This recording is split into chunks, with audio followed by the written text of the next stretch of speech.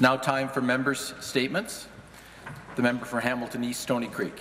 Thank you, Speaker. Speaker, I would like to wish my constituents and the people of Ontario a very happy holiday season and a wonderful and prosperous new year. A special shout out to my colleagues in the House. I would like also to thank the Speaker for doing his best to keep the lid on this House during a very tough session. We should all take time this festive season of the year to remember the less fortunate. No, no child should go without a toy under the tree. No senior should be left alone. If someone is in trouble, they should get the help they need. People who require the basics should be able to go to the local food bank and get what they require. It is the duty of all of us, all Ontarians, to make sure those shelves are full all year round. I'd also like to thank organizations like the United Way, the Salvation Army, the Red Cross, and many other charitable organizations, year in and year out, are there for everyone in our great country. I believe Canadians are generous, thoughtful, and have kind hearts. This is proven every day by the millions of volunteers who give their time to make Canada a little better place. Thank you to all the veterans, our women and men of our armed forces, police, firefighters, paramedics, nurses, doctors, who watch over us all year round. We are all fortunate to live in this great country. Thank you, Speaker. Thank you. Member statements. The member for Flamborough-Glanbrook. Thank you, Mr. Speaker. It's my pleasure to rise today to recognize our government for its efforts to increase access to natural gas in rural and northern Ontario. Now, we've heard from people right across Ontario who say that natural gas expansion is critical to growing their businesses, to creating jobs, and to simply competing. This new program will encourage more private gas distributors to partner with communities to develop projects that expand access to affordable and efficient natural gas. It will benefit rural residents in my riding of Flamborough-Glanbrook and throughout the province by keeping natural gas costs low at no additional cost to taxpayers. Natural gas is more affordable than electricity, oil or propane. Switching to natural gas can save an average residential customer as much as $2,500 a year. This builds on the government's work to stand up for the people of Ontario by removing the carbon tax from natural gas bills, saving families about $80 a year and small businesses 285. Expanding natural gas service will make Ontario communities more attractive this is part of our government's plan to bring quality jobs back to Ontario and to send a clear message that Ontario truly is open for business. Member statements. The member for Thunder Bay, Atikokan. Thank you, Speaker. Before I begin my statement, I want to acknowledge the National Day of Remembrance and Action on Violence Against Women. On this date in 1989, the lives of 14 women were cut painfully short in Montreal, and we must never forget those who died. Speaker, last summer, the closure of Thunder Bay Generating Station was announced. This government talks a lot about creating jobs, but this will mean the loss of good local jobs. In Thunder Bay, we need, we need more jobs, not less. This government endlessly repeats talking points about stopping waste. But this decision means that all the past investment in the generating station will be wasted. This government also says it will develop natural resources in the Northwest. When these resources come online, they'll need electricity, but the generating station won't be there. There are plenty of alternate uses for the facility instead of closing it. Since it gives off a significant amount of heat, it could be used for other industries, such as local greenhouses, to grow food. Finally, the generation station uses biomass pellets, and the production of these pellets is already advanced in the north. Closing the station undermines that industry. To squander a public asset is a shame. It's penny wise and pound foolish. This government should take the generating should save the generating station, not shut it down. Thank you. Member for Barrie Springwater, oral. Thank you, Mr. Speaker. As we've heard from our great Minister of Culture, Tourism and Sport say in this House, the arts and culture businesses in Ontario are significant. They contribute 4% of our GDP. I also hope others in, in the area are familiar with the arts and cultures and, and sport in their area. I expect they are. Uh, Ontario artists remind us who we are, and they show people all over the world some of our values, our landscapes. The business owners, they work for us, and they draw others to Ontario to visit and spend money, and they bring their business, and they make a life here because of it. The least we can do is consume their work. So as we head into Christmas, Mr. Speaker, uh, the, the amount of sales that, that these artists rely on are important. And whether it be in the art world or whether it be in the sport world, I have three ski hills in my riding, Snow Valley, Horseshoe Valley, and Mount St. Louis Moonstone. If you know somebody who's hard to buy for, buy something consumable, buy something that they can use, buy them a ski pass or, or a piece of art or jewelry that's made locally. It's really important that we support local, that we shop local, and that we support the artists who are an expression of the creativity of, of those in Ontario. They play such an important role to make sure, we play an important role as consumers to make sure that those businesses survive, Mr. Speaker, and I look, look forward to visiting my local craft shows throughout the holiday season and buying, uh, and from the store downstairs as well, which is filled with local merchandise. I encourage people to go down there and buy. Thank you, Mr. Speaker, and have a wonderful Christmas. Thank you. Member statements. The member for Toronto Centre. Thank you, Speaker. Today, I'd like to tell you about my friend Kyla. She just celebrated her 30th birthday, and some of her family members are here in the legislature today, and I'd like to welcome them.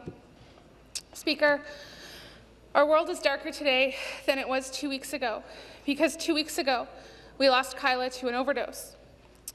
Kyla never had a plan, and she didn't have a schedule. But instead of a plan, she always had an adventure, one that often strayed off the beaten path, one that was fearless, and one that, that taught the people around her how to be brave. Kyla was the kind of person who would blow into your life like a hurricane, and before she gusted off on her next adventure, she would always leave you with a story. Speaker, it's not lost on me that we lost Kyla at the same time that overdose prevention sites across Ontario continue to fight for their very existence. These sites save lives. But the new criteria that this government has put forward is overly strict and puts many of these sites in my riding at risk of losing their funding. To every member on the government bench, I don't want any of you to tell me or Kyla's family how sorry you are. I ask you, do not let Kyla become another statistic to you while you continue to, to ignore the epidemic of overdose deaths in this province. Thank you.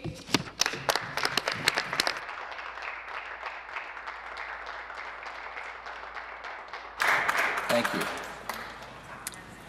Member statements. The member for Peterborough Kawartha. Thank you, Mr. Speaker. Our police officers deal with a lot of difficult situations uh, on a daily basis, but yesterday they got to do something that was a lot more fun. It was the 12th annual cop shop in my riding of Peterborough Kawartha. Peterborough Police teamed up with Lansdowne Place Mall. Officers are paired with 24 local elementary school students for a day of Christmas shopping cheer. This event began in 2005 when Constable Leander Levasseur formed a partnership with Lansdowne Mall to give elementary school children a chance to do some Christmas shopping. They're selected based on need, volunteerism, and academic achievement. Each year, kids are picked up from their schools in a limousine, taken to Lansdowne Place, where they're met by the officers who become their personal shoppers for the day. They have breakfast with their new officer friends. Lansdowne Place generously donates a $200 gift card to each child for shopping. They arrive with a list of gifts and most of them have a map of the stores that they want to go to to buy all the things that they want to get for their friends. In addition, the stores in the mall give the kids a discount on the things that they buy. Purchases are wrapped and tagged by mall staff and volunteers from the community. Then the day is capped off by lunch with Santa and their police officer. Then they're taken back to their school in the limousine. Each child is also given a new winter coat.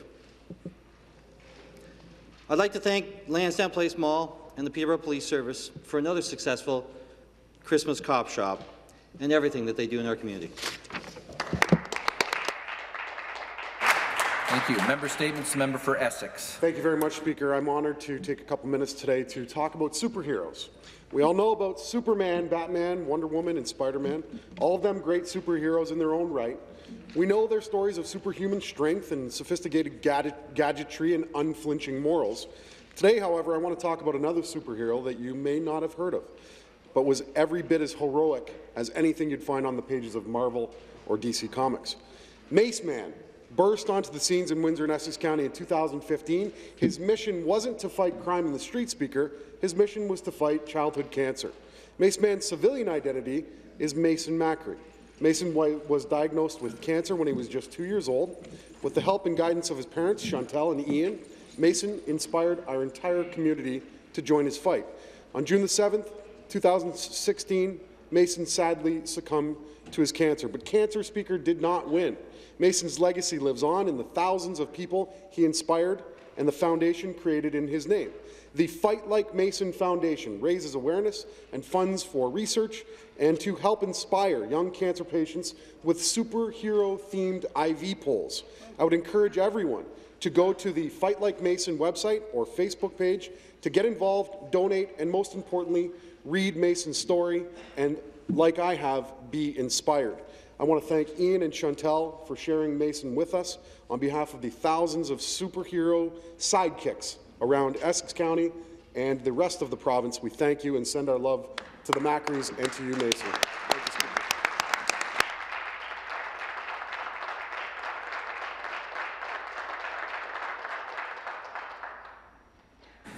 Member statements. The member for King Vaughan. Thank you, Speaker.